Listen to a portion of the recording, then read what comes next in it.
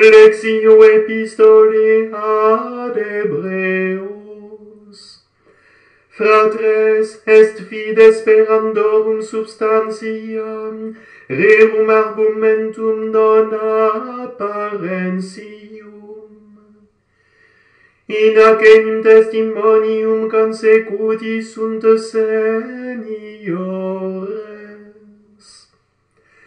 Fide vocatus Abraham obedivit in locum exilem, quem accepturus erat in hereditatem, et exivit nesciens quo iret.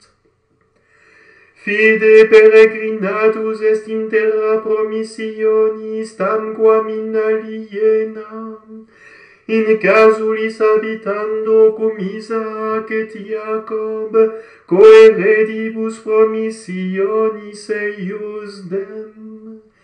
Expectabat enim fundamenta bentem civitatem, cuius artifex et canditor Deus. Fide et ipsa sara sterilis, virtutem in conceptionem seminis accepit, et siam preter tempus etatis, quam iam fidelem credidit esse, cui promiserat.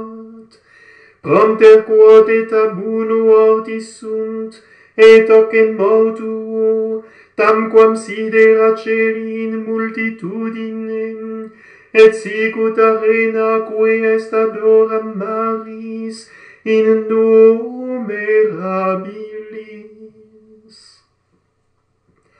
Iuxta fidem defuncti sunt omnes isti, non accentis promissionibus, sed alongeas aspicientes et salutantes, et confitentes quia peregrini et hospites sunt supra terram. Qui enim ec dicunt significant se patriam inquirere.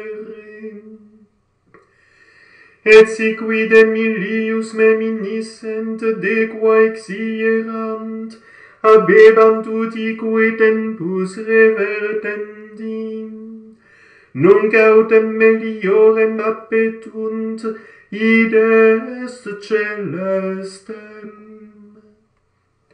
Ide unam confunditu Deus vocari Deus eorum, paravit enim millis civitatem.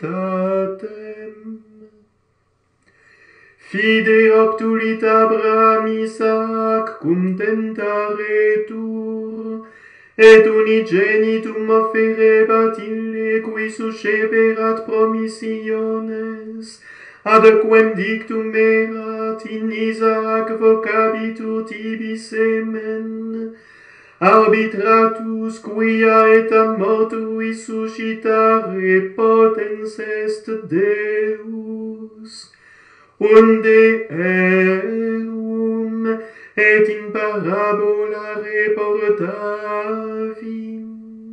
Verbum dominim Deo gratia.